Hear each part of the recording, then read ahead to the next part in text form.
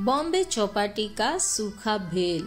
हम्म सुन के पानी आ गया ना मुँह में? प्याज टमाटर धनिया पत्ती नमकीन वाली चना दाल सूखी पूरी के टुकड़े और अगर सीज़न में अवेलेबल है तो फिर कट, कटा हुआ कच्चा आम। इन सबको मिला के उसमें मुरमुरा डाल के इसे जो चटकारा देती है वो है इसकी चटनी।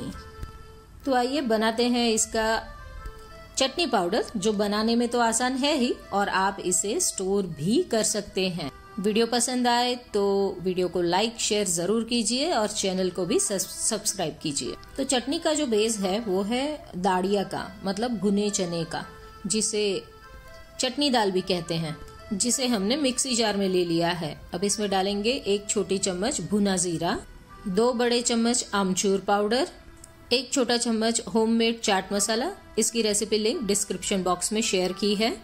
काला नमक और नमक, एक एक छोटा चम्मच, अदरक मिर्च का पेस्ट दो बड़े चम्मच 10 से 12 कड़ी पत्ते वन फोर्थ कप पुदीने के पत्ते वन फोर्थ कप धनिया के पत्ते।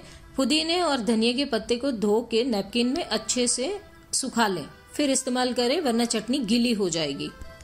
अब इन सबको महीन पाउडर में पीस ले। पानी मत डालिएगा।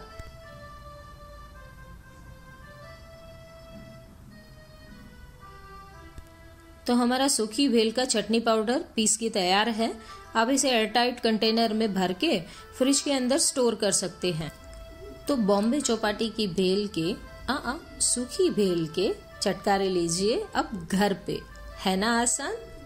फिर मिलेंगे नई रेसिपी के साथ।